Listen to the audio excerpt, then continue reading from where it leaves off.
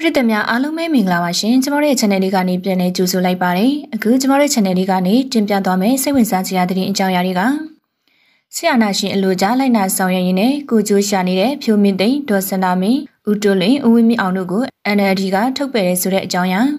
ဗုဒ္ဓလင်ကစစ်ကောင်စီကတိုက်ခိုက်ခံရပြီးလက်နက်တွေပါသိမ်းဆည်းခံရတဲ့ဆိုတဲ့အကြောင်းအရာအစရှိတဲ့စိတ်ဝင်စားစရာသတင်းအကြောင်းအရာတွေကိုတင်ပြပေးသွားပါမယ်။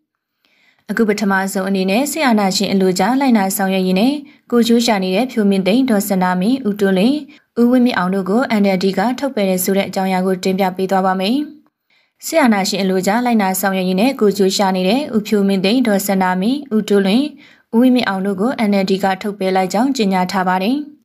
အမျိုးသားဒီမိုကရေစီအဖွဲ့ချုပ်ပါတွင်အကျိုးဟာပြည်သူ့ဆန္ဒသဘောထားကိုလေးစားလိုက်နာမှုမရှိတဲ့အပြင်ပါတီရည်တည်ချက်တို့ကိုစန့်ကျင်ပြီးပါတီအမည်ကိုအလွယ်သုံးစားလှုပ်ဆောင်နေတယ်လို့ဆိုပါတယ်။ဒါအပြင်ဆရာနာရှင်အလိုကျလိုက်နာဆောင်ရွက်ရင်ကိုကျိုးရှာလှုပ်ဆောင်နေကြကြောင်းခိုင်လုံတဲ့အထောက်အထားများရရှိထားတယ်လို့ NLD ကဆိုပါတယ်။ပါတီအပစဉ်ပုံမှန်အစည်းအဝေးတွေမှာတက်ရောက်လာတဲ့သူတွေကလည်းအဖွဲ့ချုပ်ဥက္ကဋ္ဌဒေါ်အောင်ဆန်းစုကြည်အပေါ်မှာမမမကန်တက်တေထွက်ဆိုတဲ့ဖြူမင်းသိန်းကိုထုတ်ပယ်ဖို့တင်ပြလာကြတယ်လို့ဆိုပါတယ်။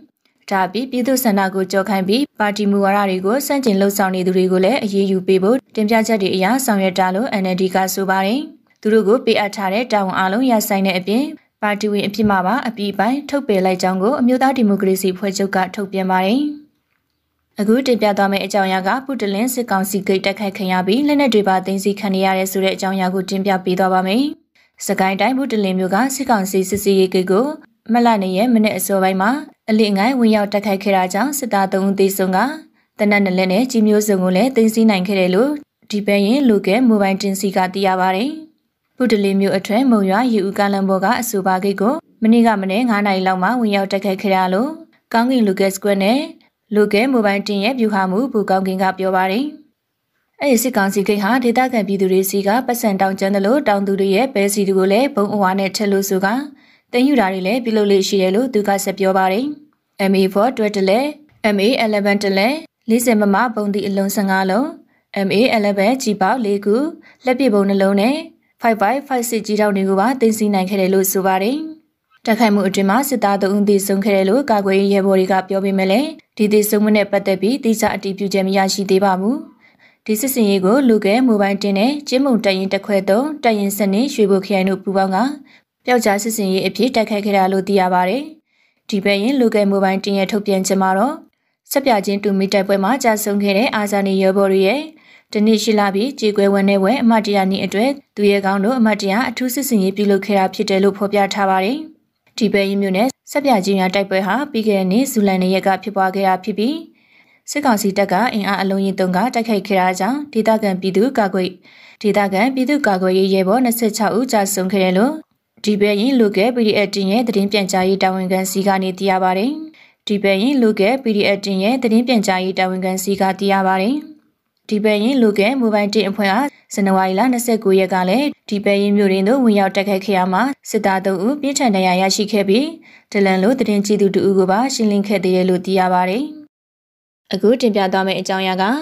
ညအချိန်မတော်သွာလာမှုကြောင့်ဖမ်းဆီးခံရတဲ့ပြည်မနာခြေလင်းတပ်ရင်85မှာတပ်ရင်မှုရဲ့သားကိုခံဝင်ဖြစ်ပြန်လွတ်ပေးတဲ့ဆိုတဲ့အကြောင်းအရာကိုတင်ပြပေးသွားပါမယ်။ညအချိန်မတော်သွာလာမှုကြောင့်ဖမ်းဆီးခံခဲ့ရတော့လေနေပြီးတော့ခလာရ85တပ်ရင်မှာတပ်ရင်မှုရဲ့သားဖြစ်ပြီးမလားတရနေ့မှာပြန်လည်ရေးလူမြောက်လာကြောင်းကိုတပ်တွင်တည်ရင်များထံကနေသိရပါတယ်။ပြီးခဲ့တဲ့ဖေဖော်ဝါရီ28ရက်နေ့ညပိုင်းက နေပြီးတော့ပြည်မနာမြို့မှာရှိတဲ့ခြေလင်းတပ်ရင်85မှာတက်ရင်မှုရဲ့တာညအချိန်မတော်သွားလာမှုကြောင့်ဖမ်းဆီးခံခဲ့ရပြီး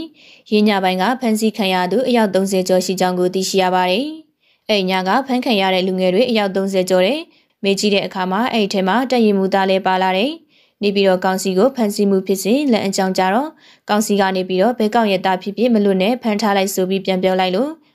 ညရင်ကြီးမဟုတ်ပဲတညထိန်ထားလိုက်ရတာမနေ့ကျတော့ခံဝင်နဲ့ပြန်လွတ်ပေးလိုက်ပါတယ်လို့နေပြီးတော့တအတိုင်းဝိုင်းနဲ့နေဆက်သူက AR တိုင်းကိုပြောပါတယ်။နေပြည်တော်မှာည7နာရီကျော်ပါကအပြင်ထက်သွားလာခြင်းမပြုလုပ်ရန်ကြေညာထားပြီးတွေ့ရှိသူများကိုလည်းဖမ်းဆီးမှုများပြုလုပ်ပြီးတံငွေရိုက်ခံဝန်လက်မှရေးထိုးခြင်းများပြုလုပ်ပြီးမှသာလျှင်ပြန်လည်လွတ်ပေးကအခက်မသိလျင်စစ်ကြောရေးသူပို့ဆောင်ခြင်းများရှိပါတယ်။တရင်မှုရဲ့သားကိုတော့ခံဝန်ရေးထိုးစီပြီးတညတာဖမ်းဆီးထိသိမ်းခဲ့ခြင်းဖြစ်တယ်လို့တတိယမြစ်ကဆိုပါတယ်။ အခုဆက်လက်ပြီးတင်ပြသွားမယ့်အကြောင်းအရာကဝက်လဲမုတ်ဆိုးချုံရွာကိုမိလာရှို့တဲ့စစ်ကြောင်းကိုတိုက်ခိုက်မှုမှာစစ်သား3ဦးသေဆုံး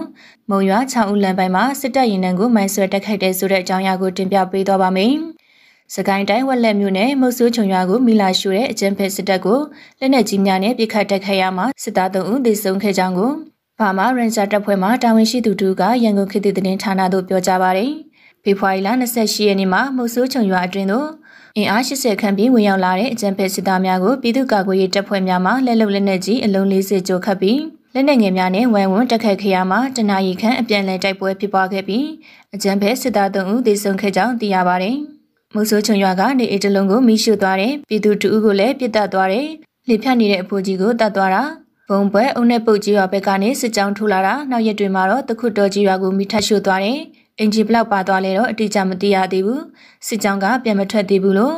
ဘာမာရန်ဂျာတပ်ဖွဲ့မှတာဝန်ရှိသူတူကပြောပါတယ်။အဆိုပါတိုက်ခိုက်မှုကိုဘာမာရန်ဂျာရွှေဘူရွှေတော်သာလူကဲပြောက်ကြားတပ်ဖွဲ့ Expo Army တပ်ဖွဲ့တို့ကပူးပေါင်းကတိုက်ခိုက်ခဲ့ခြင်းဖြစ်ပြီးပြည်သူ့ကာကွယ်ရေးတပ်ဖွဲ့ဝင်များအထိခိုက်မရှိပြန်လည်ဆုတ်ခနိုင်ခဲ့ကြောင်းသိရပါတယ်။ဒါအပြင်စကိုင်းတိုင်းမုံရမြို့အနောက်မြောက်တိုင်းစစ်ဌာနချုပ်မှထွက်လာတဲ့အကြံဖက်စစ်ကောင်စီရဲ့မူကအုပ်ကအကြီးဆယ်စီနဲ့ဒီစီပွိုက်ကားလေးစီကို မလ3ရက်နေ့တနာရီ49မိနစ်အချိန်မှာမုံရွာ6ဦးလမ်းပိုင်းတနေရာမှာပရိသာမိုင်းလေးလုံးနဲ့မိုင်းဆွဲတက်ခတ်ခဲ့ကြကြောင်း Area 71 PDF မုံရွာအဖွဲ့ထံမှသိရပါတယ်။အဆိုပါမူကအုပ်ကကြီးဆယ်စီရဲ့လေးစီးမြောက်ကားကိုမိုင်းဆွဲတက်ခိုက်ခဲ့ပြီးရင်တမခိတထိုးရသွားပြီးထိခိုက်သေးဆုံးမှုရှိမရှိကိုအတိမပြုနိုင်သေးကြောင်းတိုက်ခိုက်မှုအတွင်းတော်လှန်ရေးရဲဘော်များစစ်ကောင်စီရဲ့ကိန်းပုံများကြောင့်ပိတ်မိနေတော့လေ နေမြေကျွမ်းကျင်မှုကြောင့်အထိခိုက်မရှိပေးလို့ရသို့ပြန်လည်ဆုတ်ခွာနိုင်ခဲ့ကြောင်းကို Area 71 PDF မုံရအဖွဲ့မှထုတ်ပြန်ထားပါတယ်။အခုနောက်ဆုံးတင်ပြသွားမယ့်အကြောင်းအရာကစကိုင်းတိုင်းအတွင်းစစ်တပ်မိရှုခဲ့တဲ့ရွာများကို SNC အဖွဲ့ကနေအိမ်များဆောက်လုပ်လူဒန်းပြီးစစ်ဆောင်စာတင်ကြောင်းတကြောင်းကိုပါထပ်မံဖွင့်လှစ်တဲ့ဆိုတဲ့အကြောင်းအရာကိုတင်ပြပေးသွားပါမယ်။စကိုင်းတိုင်းအတွင်းမှာစစ်တပ်မိရှုခဲ့တဲ့ရွာများကို SNC အဖွဲ့ကနေအိမ်များဆောက်လုပ်လူဒန်းပြီးစစ်ဘေးရှောင်စာတင်ကြောင်းတကြောင်းထပ်မံဖွင့်လှစ်ပေးခဲ့ကြောင်းသိရပါတယ်။ စစ်တပ်မိရှုဖျက်ဆီးခဲ့တဲ့စကိုင်းတိုင်းအတွင်းရှိကျွာများကို SNC မိဘေးစစ်ဘေးပညာရေးဆောင်ရှောက်ရေးအဖွဲ့မှနေအိမ်တထောင်စီမံကိန်းနဲ့နေအိမ်များဆောက်လုပ်လူဒန်းလျက်ရှိပြီးလက်ရှိချိန်မှာနေအိမ်လေးရာကိုဆောက်လုပ်လူဒန်းပြည်စည်းပြီးဖြစ်ကြောင်းသိရပါတယ်။ဒါပြင်စစ်ဘေးရှောင်ကလေးများပညာသင်ကြားနိုင်ရေးစာသင်ကျောင်းတစ်ကျောင်းကိုပြီးခဲ့တဲ့ရက်ပိုင်းအတွင်းကဆောက်လုပ်လူဒန်းခဲ့ပြီးလက်ရှိအချိန်မှာစာသင်ကျောင်းကိုကျောင်းအထိဖွင့်လှစ်ထားကြောင်းသိရှိရပါတယ်။စစ်ဘေးရှောင်ပြည်သူများကိုပါဝင်ကူညီလိုသောပြည်သူများအနေနဲ့ SNC မိဘေးစစ်ဘေးပညာရေးဆောင်ရှားမှုပေမှာတိုက်ရိုက်ချိတ်ဆက်လူဒန်းနိုင်ကြောင်း SNC အဖွဲ့ကတာဝန်ရှိသူတို့ကရန်ကုန်ခေတ်သစ်မီဒီယာသို့ပြောပါတယ်။